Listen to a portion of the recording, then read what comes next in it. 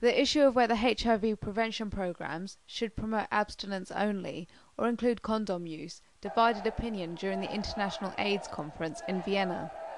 The main target was PEPFAR, the US President's emergency plan for AIDS relief.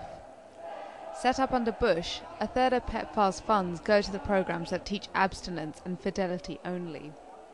Groups like the Centre for Health and Gender Equality think that this is a mistake and are encouraging those who agree to send postcards to US Global AIDS Ambassador Eric Goosby, who heads up PEPFAR. I think abstinence and fidelity are important in terms of part of a broader comprehensive strategy to prevent HIV infections.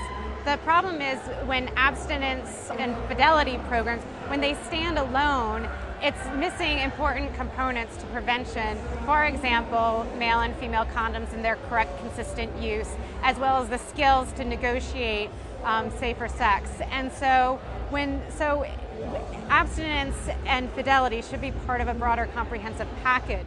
Jaevion Nelson, a youth advocate from Jamaica, says the policies don't match what's really happening on the ground. The fact of the matter, in Jamaica, for example, a study that was done in 2001 among about 1,000 young people between 10 to 15 years showed that you know, almost 100% of them, a large percentage of them, were having sex, you know, sexual initiation in Jamaica. It's quite early for girls as well as boys. And so it shows that young people are having sex. And so abstinence only campaigns cannot work. They do not have any place in the society really because if you're going to teach abstinence only, then those who are having sex are the majority. And so they're being left out. And so there's a great gap, a disparity between what they're being told by their friends and what they should be told by policy policy, through policies and through programs supported by the government. A few years ago, HIV AIDS was one of the leading causes, second leading cause of death among young people in Jamaica. And so that shows the great danger for a country like Jamaica. As tensions run high at the conference, Ambassador Goosby comes under fire for not changing strategy. But there is a recognition that there is only so much he can do. There's still a reporting requirement for if you don't, if you, if you are doing comprehensive and don't focus on abstinence fidelity, you need to report to Congress and explain why, why you're not doing that.